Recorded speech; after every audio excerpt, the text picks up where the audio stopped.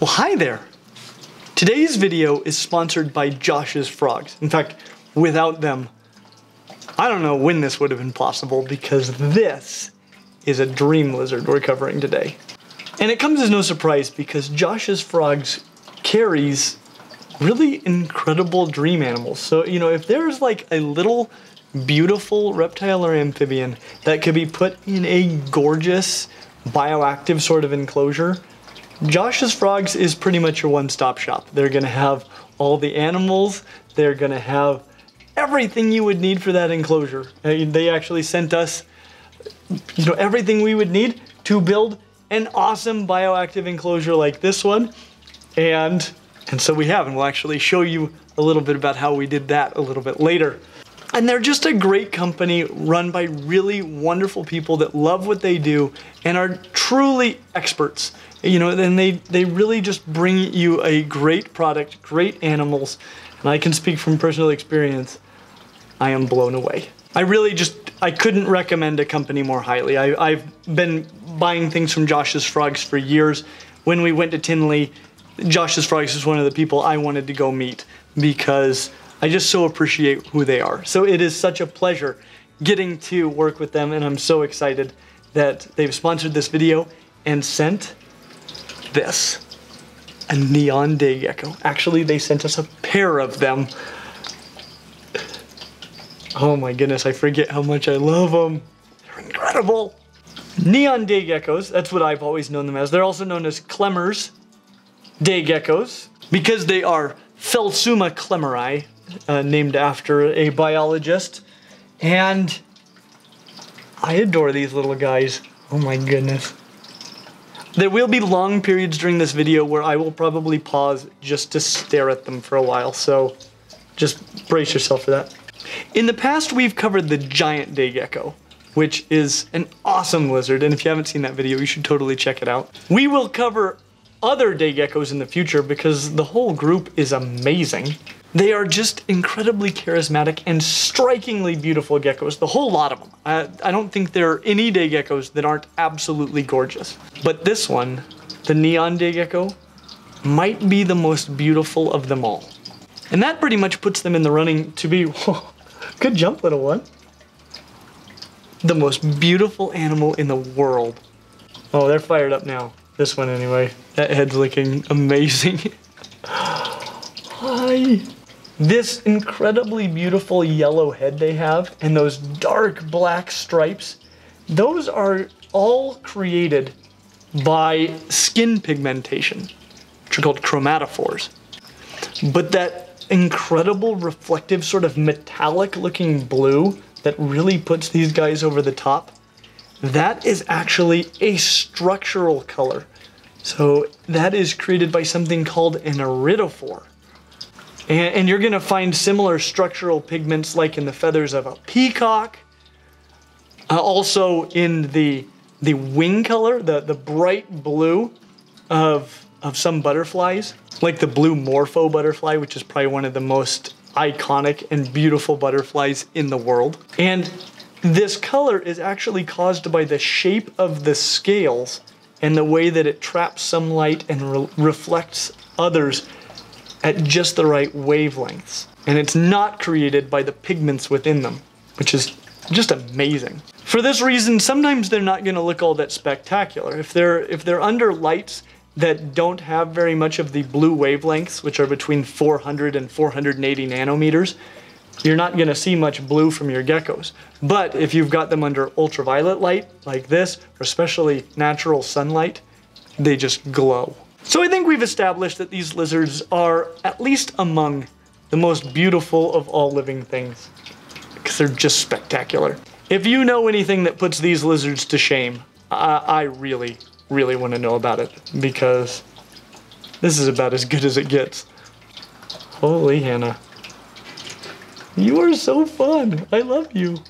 But beauty isn't everything, which is very fortunate for some of us. I mean, sometimes the most beautiful people, for example, have the worst personalities.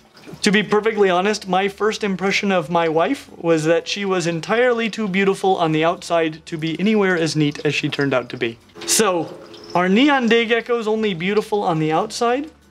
Or do they also happen to be spectacular pet lizards? And most importantly, is the neon day gecko the best pet lizard for you? To help you figure this out, we are going to rank the neon day gecko based on our five categories, which are handleability, care, hardiness, availability, and upfront costs. I was gonna say for handleability, I give the Neon Day Gecko a score of 1 out of 5. I think that's true. I think it's true. But my personal experience with these two Neon Day Geckos from Josh's Frogs would lead me to think it should be much, much higher than that. At the same time, a lot of that could be just to the, due to the way that they've been socialized growing up. I know that my mourning geckos are handleable in basically exactly the same way as these neon day geckos. Uh, but I spend a lot of time with my mourning geckos. I get very close with them and they are not afraid of me at all. And most mourning geckos are not like that. It is my understanding that neon geckos are not always this amazing to handle. And so I'm going to actually stick with that score of 1 out of 5, but I can tell you they can be much better. There's just so much about these geckos that make them terrible to handle. They're small, and as a result, they could easily be hurt or lost while handling. So that is a major consideration.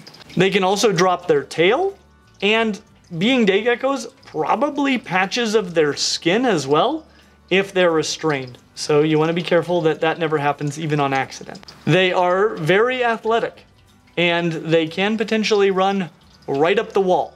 So that's not ideal. But like I said, just like my mourning geckos, these individuals have been just wonderful to handle. And, and so clearly, you know, if you get them from a place like Josh's Frogs that really works closely with their lizards and knows how to act around them and, you know, can lead them to not fear humans, which is actually not super hard to do with day geckos because they are so outgoing and personable you can have a completely different sort of relationship with your neon day gecko. And it's special because handling them is delightful. It is an amazing experience, and I love every second of it. I'm just drinking it in. These are clearly not for children to handle. That would be a horrible idea. And they're not for people who are going to freak out when they jump because they do jump all the time and they might jump straight out into space. So you need to be somebody who's calm under pressure and who kind of understands gecko behavior and what it looks like when they're going to jump and how you can get them back. I'll, I'll, just share a little tip right now. This is a thing I've found for all geckos. Uh, it's riskier with some, like tokays, but Eh, gecko generally, if you want it to climb onto you, well, go under your go under your watch. Come here just a second. If you want a gecko to climb onto you, the best way to do it is just to put your fingers right under their chin and they will either climb up or hop right up onto you. And that, in my experience, works with basically every gecko, especially the arboreal geckos. Just come right under the chin, just kind of stick your fingers under their chin, and up they go. You also need to know what they look like when they're getting ready to jump, when they bring those back legs forward. they're just so cool. Like I said, it is just such an experience getting to handle these guys. Our macro shots that you're seeing right now they give you some feeling for what it is that you can see when you're just up close and personal with these geckos. And that is just an experience that very few people ever get to have. And I consider myself so blessed to be in this position right now. There are a lot of great things though to handle them. I mean, obviously, I love it. On top of that, they're not gonna hurt you. They're very little geckos. They get bigger than this, but they're still small. They're also very good at hanging on. They've got those typical gecko toe pads. They're an arboreal gecko, you know, except for when they decide to take a leap into space, they're probably going to hang on to you pretty well.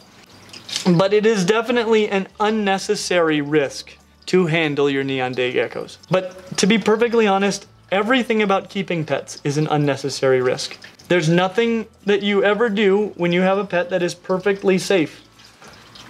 And so sometimes your enjoyment is the reason that you're doing this. And that might be a reason to handle your neon day geckos. It is just a risk. You don't need day geckos at all, and you definitely don't need to handle your day geckos.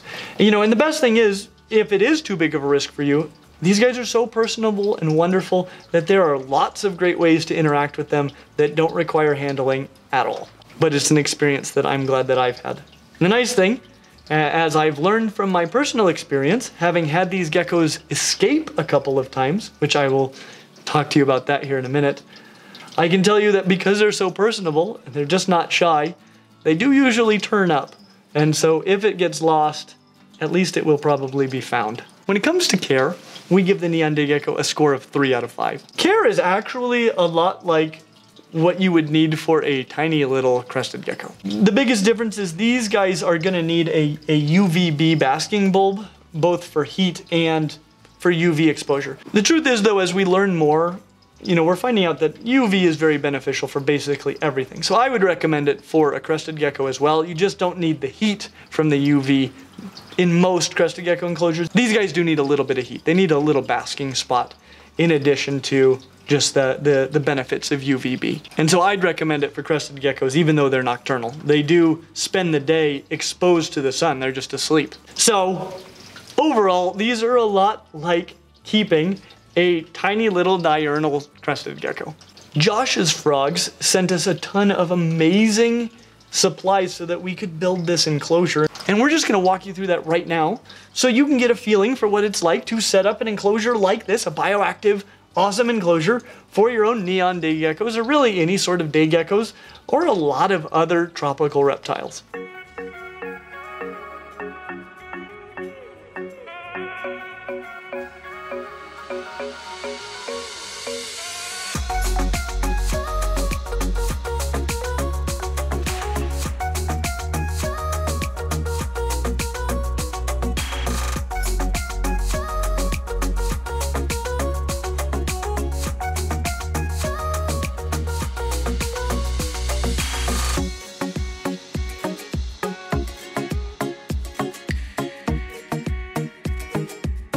If you'd like for us to make a full video showing the whole process that we used to build this tank, uh, we'd be happy to do so. So just let us know down in the comments. All right, when it comes to food for these guys, they're going to eat a combination of insects and diets like crested gecko diet. So, you know, I love crested gecko diet. It's the easiest thing in the world. And so having that available to them is magnificent. And then things like small or pinhead sized crickets, you're gonna wanna be careful with those so they don't end up chewing on your lizard. Flightless fruit flies are an excellent feeder for these guys. And really just any very, very small insects that they can easily overpower and swallow. And just make sure that you always dust those with vitamins and calcium supplements. These are gonna need to be misted on a daily basis, maybe a couple times a day, both to water your plants if it's a bioactive enclosure and to give these guys something to drink. If you're not doing bioactive, uh, then you probably need to mist a little bit less, not less often, just less copiously. You don't want your tank ever to be just saturated and wet. You definitely want it to dry out between mistings to a degree and uh, you know, getting them too wet can actually lead to re respiratory infections and other issues. And so just enough so there's some droplets all around the tank for them to drink, but it'll dry out during the day. And make sure that you prevent any places they could escape from the enclosure. When, when I talked about our mourning geckos, I talked about how enclosures like this are tough because they can escape. And these guys were routinely escaping from this enclosure when I first set it up. And I discovered that there's kind of a little design flaw with these Exo Terra tanks.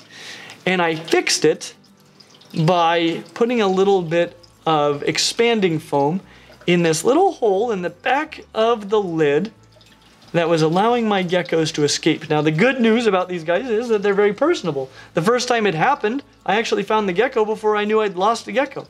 And the second time, uh, you know, I thought it, I might be just user error, and so I made sure I did everything right.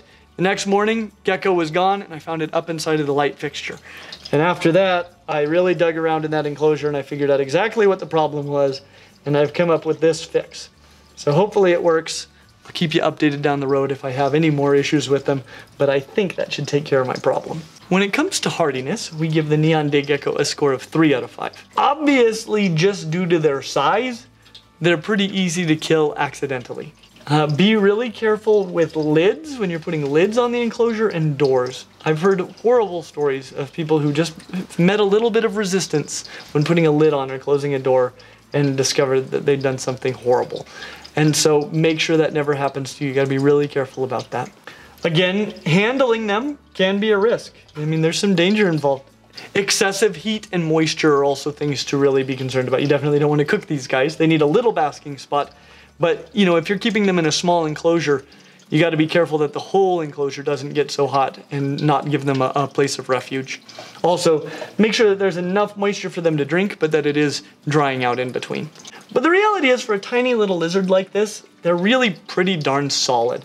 Uh, one of the more solid little lizards you could get. And these guys are endangered in the wild, which is sad. I mean, it, it, makes a lot of sense. Day geckos only come from Madagascar, and these guys just come from little regions of Madagascar. So probably even if their population was at full strength, they might still be close to endangered just because they live in a tiny little place. There can't be a giant population of them. But it's good news for us in terms of hardiness because it means that they're virtually, and you know, there's no evidence at all that really any of them are being exported. So they are probably all captive bred, and that is just great news. You can be guaranteed that the ones that you get from Josh's Frogs are captive bred and out of this world. Barring any accidents with proper care, these guys should do really well for you. They're just little guys. When it comes to availability, we give the Neon Day Gecko a score of 2 out of 5. Obviously, they're available from Josh's Frogs, so just, just get them there and call it a day. Online, no matter where you go, is going to be your best bet. So again, just get them from Josh's Frogs. They will be at expos from time to time. I mean, if you wander around the whole expo, you might be able to find some neon day geckos, depending on the size of the expo. They're very rare in pet shops. I can say I've never seen them for sale in a pet shop. Uh, though, you know, I've been to pet shops that sell other day geckos and other really cool day geckos. I just have never seen neon day geckos. If your local pet shop has neon day geckos, consider yourself blessed. And they're not rare because they're difficult to breed. They're actually very easy to breed. It's really just that. Oh, yeah, you're licking your eyeball. I love that. Why are you so great? Anyway, it's not that they're difficult to breed. It is just that demand is understandably high for these unbelievably awesome lizards. But the reality is, they're out there. They're on Josh's Frogs right now. So if you want one, just go get one. And in fact, they can hook you up with everything you'll need. So, I mean, just just say I want a neon day gecko and everything else. And uh, they will honestly be able to supply you with everything you will need for these geckos. That'll save you something on shipping. And I just learned this. When you go to Josh's Frogs to get your neon day geckos and all the stuff that you need, we've actually got a coupon code down in the description that'll save you 15%. Which, as you're about to discover, this is not a cheap lizard. And uh, that's awesome. I am so excited about that. So if you want to save 15%, use coupon code down in the description. That's awesome. I'm going to use it. When it comes to upfront costs, we give the Neon Day Gecko a score of 3 out of 5. Obviously, being a ridiculously popular lizard, for obvious reasons, they're not cheap. They're, they're not an inexpensive lizard. They're a lot more expensive lizards. It's just for such a little guy, you know, something that costs like $150, that seems like a lot. At the same time, I think just since we've been filming this video, I've had $150 worth of joy come into my life. So this is the gift that keeps on giving. And if you think about, you know, the fact that it might be with you for a decade or more, that's money well spent. $15 a year for pure joy. Because this is pure joy. It's just a tiny little bundle of pure joy. You are pure joy. The rest of the enclosure is actually fairly reasonable. Uh, a 12 by 12 by 18 enclosure is very adequate for neon day geckos because they're such little guys. And this is actually one of the more available and affordable enclosure sizes that you're gonna find. You know, the, the hood, the, the UV bulbs, you know, those, those cost a little bit. You'll need to replace those regularly. Getting all your substrate, even to make an awesome bioactive enclosure like this, it's not gonna cost you an arm and a leg. Honestly, it'll probably cost you less than the gecko. So that's cool. I mean, usually enclosures are what cost you a lot. Geckos are or whatever animal goes in it usually is not the big expense. In this case, the gecko is as big of an expense as the enclosure. Altogether, it's not that bad. Make sure that you have bamboo. These guys need bamboo. Uh, it's really important for their feet and just their happiness. I mean, as you see these guys climbing around, they're going to spend a ton of their time hanging out on the bamboo because that is their natural habitat. So, you know, to build an enclosure like this, obviously we've walked you through it, but you know, you're going to need to buy the hydro balls, the screen, the substrate, moss if you want to do the moss, the, the bamboo that we've already mentioned. If you're going to do our backdrop, you're going to need Gorilla Glue and you're going to need, uh, well, again, just the moss and the substrate. Crested gecko diet. You're gonna need calcium and vitamins. You're gonna need a little bit of charcoal, though this Joshua's Frog mix has it mixed right in there, so you probably won't have to buy charcoal separate. Live plants, definitely the way to go. And cleanup crew, which includes springtails and isopods. And you can get all of this stuff at Josh's Frogs, which is awesome. You might need to go out to buy your own Gorilla Glue and screen, I don't know. And we'll have links to all the rad stuff that Josh's Frogs sent to us down in the description. And if you get it all at Josh's Frogs, it's gonna save you a lot on shipping, so. I know I keep talking about Josh's Frogs. It's not just because they sponsored this video. I don't have, there's nothing that says I have to tell you constantly to go there. But they're amazing and they've got everything you're gonna need for these guys, so, you know, really check them out. In conclusion, we give the Neon Day Gecko a score of 2.4 out of 5. They honestly get that low score because they're uncommon, expensive, and difficult to hold, though. Absolutely wonderful to hold under the right circumstances. That said, they're great pets. They are really great pets. They are beautiful inside and out. The personality, they're reasonable to care for, and obviously insanely beautiful. If what you want is a beautiful, bold, inquisitive lizard that fits in a small part of your home, but a huge part of your heart, then the Neon Day Gecko might be the perfect pet lizard for you. As always, like and subscribe, and we hope to see you real soon.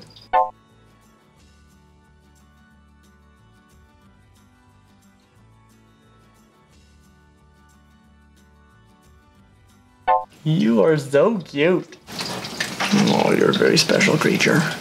Hi, Guy. Oh my goodness. Oh my goodness. I forget. I forget how beautiful you are. Hi. Hi, little one. Yeah, you are a good jumper. you are so cool. Good jump. Where are you going, little one? Oh, they're looking good now. They're looking so good. Neon day geckos. I can't believe this is happening. Yeah, it's coming, isn't it? Oh, yeah, that's right. That's right. You are so good. I love you so much. Oh, you're so wonderful. Why are you so good? Go into the watch again. Good job. This is the one you struggle with. There you go. it is everywhere. This makes me happy. Oh, wow. They're so beautiful. It's insane. That one is fired up. Oh, they're both. Hi. Why are you such just oh they're the best creatures in the world. Why are you so great? Oh my gosh. Come here. Come on. Come on, little one.